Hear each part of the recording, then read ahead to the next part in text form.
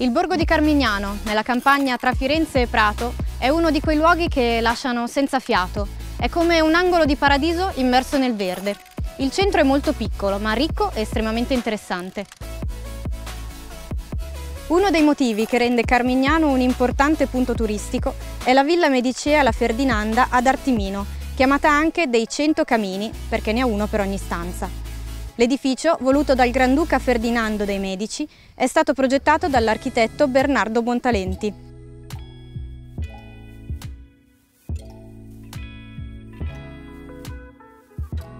Diventata nel 2013 patrimonio mondiale dell'UNESCO, la villa è visitabile gratuitamente su prenotazione.